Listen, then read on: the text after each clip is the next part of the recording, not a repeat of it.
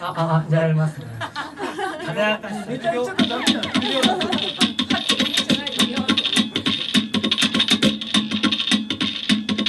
えー、僕の小さい頃からの夢は漫画家やミュージシャンになることではなくお相撲さんになることでした僕の小さい頃からの夢は漫画家でもミュージシャンでもなくお相撲さんになることでした。どすこい。しかしいくら食ってもいくら食ってもいくら食っても寝ても食っても寝ても食っても太らず痩せる。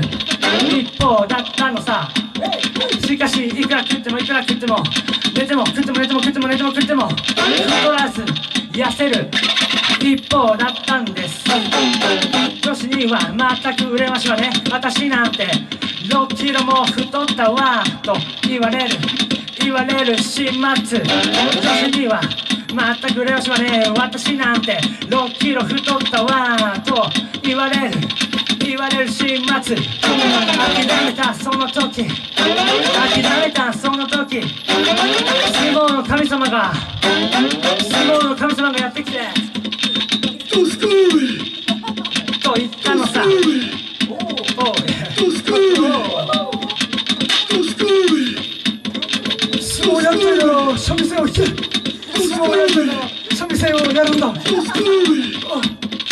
そうだったのさそうだったのか。よし。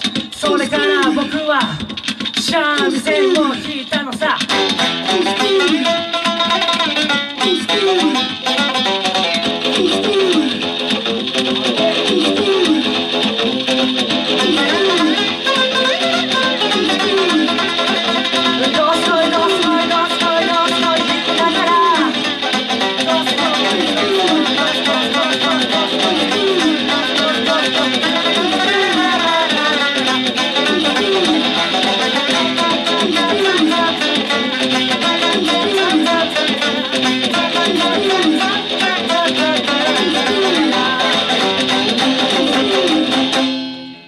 そしてそれから稽古の会があってついに三味線相撲大会を三味線相撲大会を開くことができたできるようになった。おおイエーイ。えではあのお相撲さんが登場します。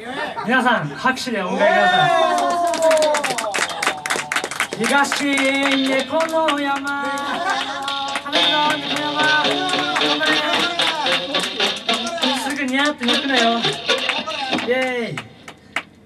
あどっちだっけな。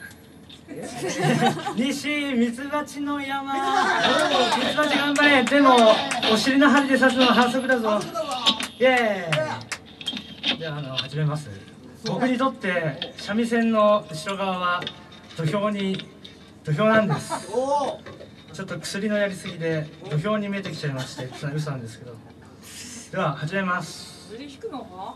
え引かねえのか？ー、はっけよーいのぼっちゃんのぼっちゃんのぼっちゃんのぼっちゃんのぼっちゃんのぼっちゃんのぼっちゃんのぼっちゃんのぼっちゃんのぼっちゃんのぼっちゃんのぼっちゃんさあ始まりましたのぼっちゃんのぼっちゃんのぼっちゃんのぼっちゃんのぼっちゃんのぼっちゃん一回も取り組んでいない完成した完成したのぼっちゃんのぼっちゃんのぼっちゃんのぼっちゃん勝者猫の山イエーイ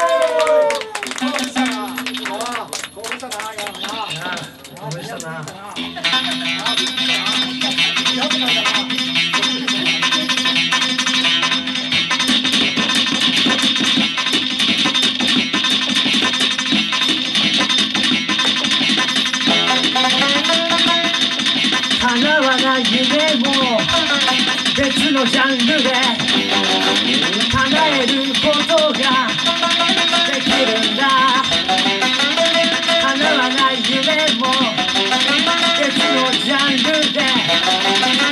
えることができるんだだからさっさとその夢をだからさっさとその夢を諦めてその夢を諦めんな。だからさっさとその夢を諦めてだからさっさとその夢を諦めんな。白黒はっきりしない話だぜ。